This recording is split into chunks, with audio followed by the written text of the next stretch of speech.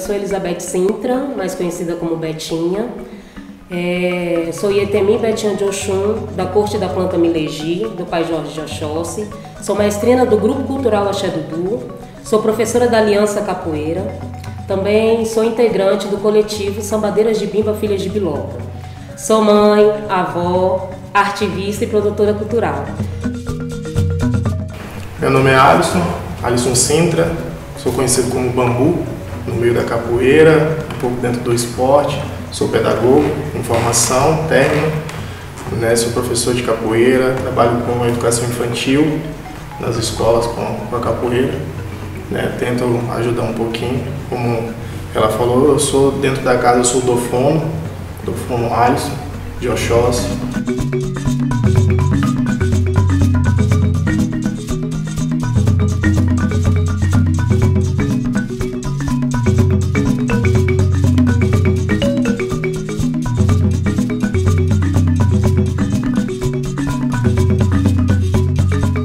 Bom, o Axé Dudu, ele hoje tem 33 anos. Ele foi criado por um grupo de pessoas negras é, que não se sentiam representados no carnaval em Brasília. Começa com um grupo percussivo participando de atividades carnavalescas. E então, daí, é, depois é, começa a introduzir várias outras coisas da cultura negra. Então, várias outras pessoas que também eram da religiosidade e que eram do movimento negro da época e que estavam ligados a tudo da cultura negra passaram então a acompanhar as atividades do Axé Dudu. Comecei no Axé Dudu dançando. Então eu era muito jovem, entre 12 e 13 anos, mas representando o grupo dos Orixás Milegi, que era um grupo de dança afro, porém que também representava os orixás.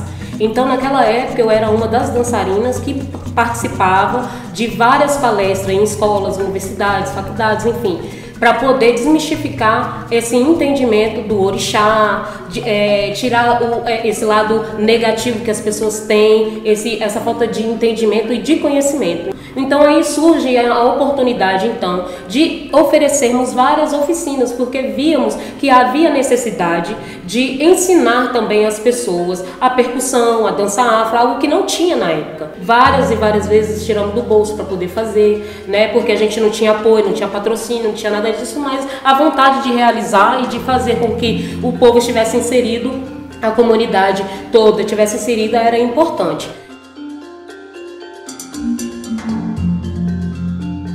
Não é fácil, como eu falei, né, para poder quebrar o paradigma de, da religiosidade, né, porque é difícil, as pessoas temem aquilo que não conhecem.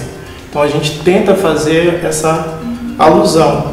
O mês de novembro, por exemplo, todo mundo quer saber sobre a religiosidade, todo mundo quer saber sobre a cultura negra, porque, ah, 20 de novembro, Zumbi dos Palmares, e a gente tenta fazer isso durante todo o ano, né, com as palestras, oficinas, nós damos aulas de capoeira gratuita, para poder a comunidade entender que não só a parte de religião, ela tem uma ligação sim com a, com a capoeira, mas ela também tem a parte cultural. Ela é um instrumento da cultura brasileira, foi criada por nós, por brasileiros, né? Os escravos oriundos daqui dentro do Brasil, não existia fora. Então a gente tenta aproveitar esse espaço e poder transmitir isso para eles, eles poderem ter esse conhecimento. Não é fácil, porque entenderem que a religião não, tem, não é mal, né, que quem é mal é a pessoa, o ser humano, infelizmente, que independente de crença, mas eles possam entender que a religião ela tem o seu lado positivo, ela está aqui para poder abrigar, tanto que nós temos fazíamos aqui a entrega de sopa,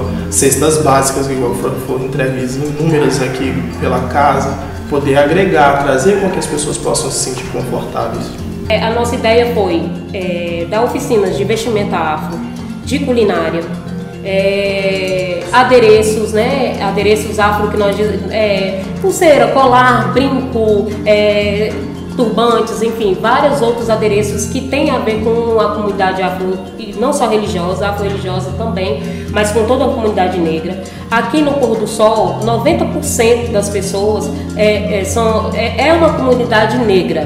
Essa coisa de falar do novembro, não tem como ninguém desligar a gente. Chega novembro, chove, é todo final de semana tem uma atividade. Mas a gente quis mostrar que não é só novembro. O negro existe e está na luta todos os dias, de janeiro a janeiro.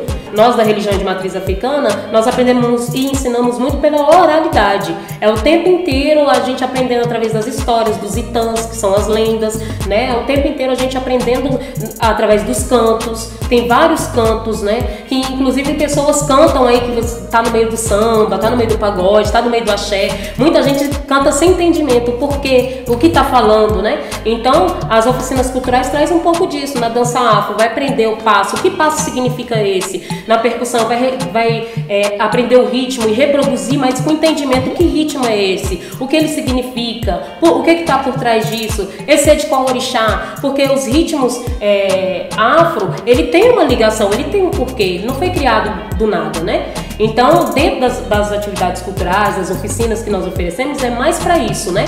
E a gente tem uma troca também, porque a gente aprende muito com o outro, né? É o tempo inteiro a gente aprendendo, a gente está numa comunidade onde a maioria é evangélico. Né? Então a gente de alguma forma também tem que respeitar esse lado, desde que nos respeitem também. E a gente vai trocando, né? E trazer a comunidade dessa forma que eu disse, né? É, respeitando e nos respeitando também, com várias atividades que acontecem durante o longo do ano. Por muitos anos também a gente teve muita dificuldade, não vou mentir, porque a gente encontrar com diretores, né, administradores de cidades satélites de que por opção religiosa não aceitarem o trabalho. Então, assim, a gente quer esclarecer, quebrar esse paradigma de que aqui não é o mal. Não queremos transformá-los em religiosos da, de matriz africana, jamais. Não é essa nossa, nossa, nosso desejo, nosso ímpeto. E sim explicar para eles, para a escola do CF32 aqui, eles têm um trabalho em que eles pegam o mês de novembro totalmente voltado para poder mostrar para as crianças. Eles fazem desfiles, para poder da beleza negra, é umas coisas muito importantes para que eles se sintam valorizados. Eu quero muito uma cidade com mais respeito, com menos discriminação, com menos racismo, com menos preconceito, um, uma cidade que respeita todos e todas. Essa é uma cidade que, assim, eu tenho um sonho de um dia conseguir ver, porque, né, na verdade é um trabalho duro, uma luta diária de todos os dias, né?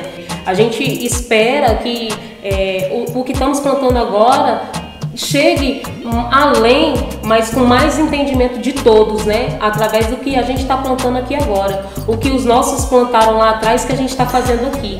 Porque se eu faço isso hoje é porque lá atrás eu tive pessoas, meus ancestrais, que tiveram esse pique de luta, essa, essa condução para que a gente chegasse aqui hoje. E é isso a gente não pode esquecer. E é o que eu quero muito que chegue no nosso legado, que a gente tem um grupo que se chama Frutos do Axé. O Axé Dudu é um grupo cultural. Dentro do grupo cultural Axé Dudu tem várias é, é, vários grupos, né, subgrupos, vamos dizer assim. A Mona Dudu, que são só mulheres, o Frutos da Axé, que são só crianças. Então, o Axé Dudu é um todo, né? É, é, é é todo esse grupo, é, subgrupos juntos, né? Mona Dudu, Frutos Axé, grupo de dança afro, grupo de percussão, todas as professoras, enfim, que ensinam a vestimenta, que ensinam a culinária, o adereço. Então, o grupo cultural é todo esse subgrupo que está dentro dele. Então, é, o Frutos do Axé é o legado que a gente está deixando com um amanhã mais feliz, mais é, leve, um, um amanhã mais respeitoso com todos. Pensando em que é importante realmente divulgar, é, preservar, difundir toda é, a cultura afro-brasileira, é, seja no seu canto, no ritmo, na dança, na história.